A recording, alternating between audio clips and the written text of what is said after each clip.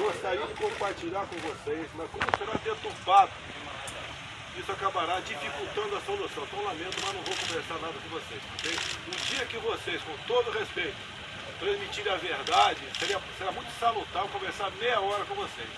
Problemas os mais variados possíveis, dá para resolver, gostaria de compartilhar. Repito, não o faço porque ao haver deturpação, a solução ficará mais difícil, talvez impossível. Então eu lamento não poder conversar com vocês.